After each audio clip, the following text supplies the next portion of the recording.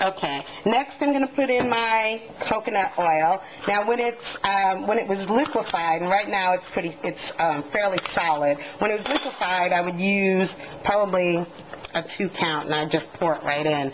But with it being a little bit on the solid side, I'm using a full tablespoon, and I'm going to put it right in there.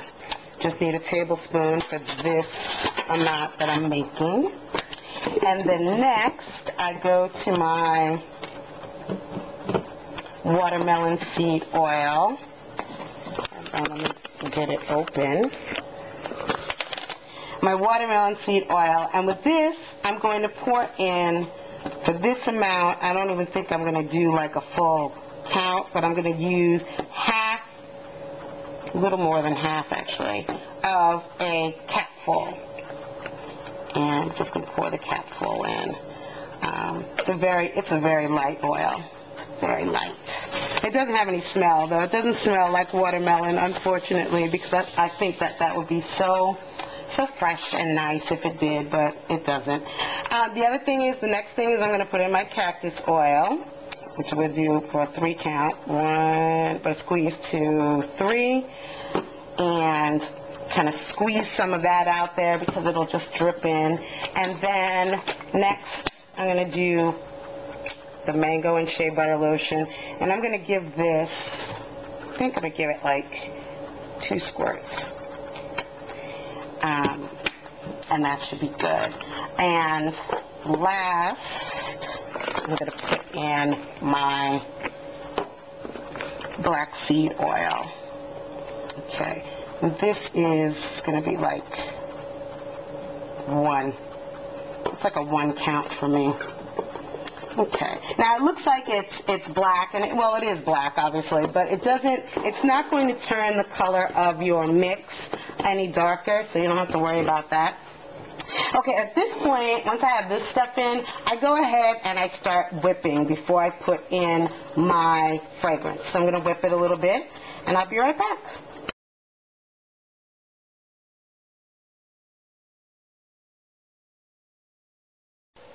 Okay, this is the initial whip stage. I probably whipped it for about two minutes because it was just that that little um, that little amount. So I just kind of wanted to give you a little bit of a look where it starts to get creamy. So it's looking kind of creamy, but it's still a lot of chunks in here. So I'm going to go ahead and mix it for another two minutes. I'll be back.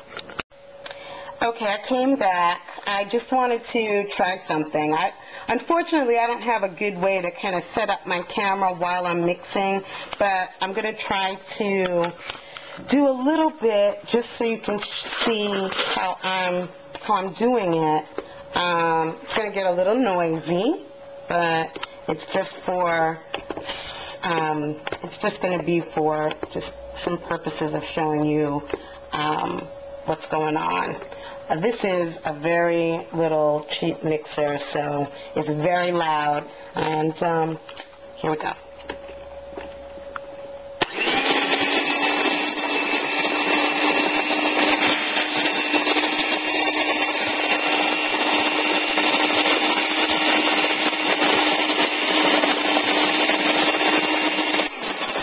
The idea is really just to try to get some of those um, usually making a lot, uh, a lot more. But um, I'm going to whip it a little bit more, and then when it comes out nice and creamy, the consistency that I'm looking for, I'll be back.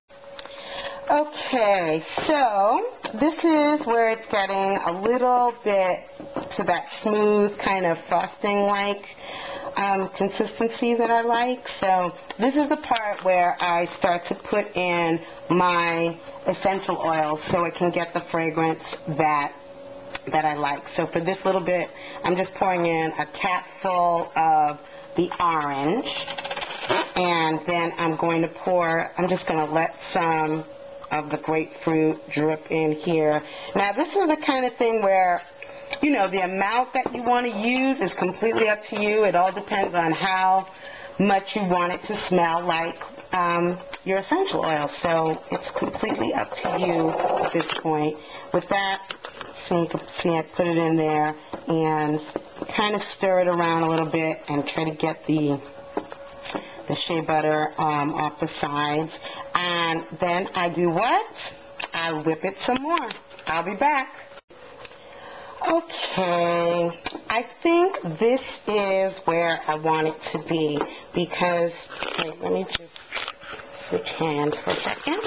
Um, because this is the part where, to me, it looks very much like frosting. Like you can just, you know, when you, when you, it doesn't have that, that consistency that the shea butter would have if it was just, um, you know, in its regular state, you know, like that. So this is really coming out the way I like it.